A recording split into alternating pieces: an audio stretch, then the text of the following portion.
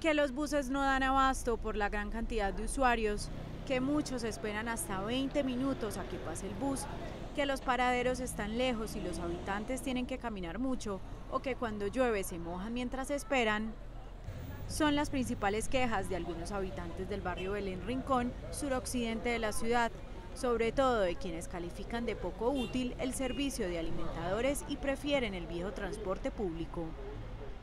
Ese servicio no sirve porque a toda hora las personas de este barrio a toda hora es a pie y sobre todo eh, el incremento en la cuestión del pasaje. No estoy de acuerdo es con los paraderos, mi amor. Porque o que lo sé por experiencia, mi amor, como para el manzanillo, que hay gente que tiene que venir cayendo agua hasta los paraderos. Y están muy retirados los paraderos. Frente a esta situación hay opiniones encontradas, pues otras personas dicen que la entrada de los alimentadores ha mejorado el transporte público en el sector. El sistema es muy eficaz, es buenísimo. Lo que pasa es que apenas nos estamos culturizando y, eso cuesta trabajo. Yo hasta donde alcanzo a ver, yo veo un buen servicio, porque yo los buses los veo que dan cada cinco minutos. No veo de qué se están quejando.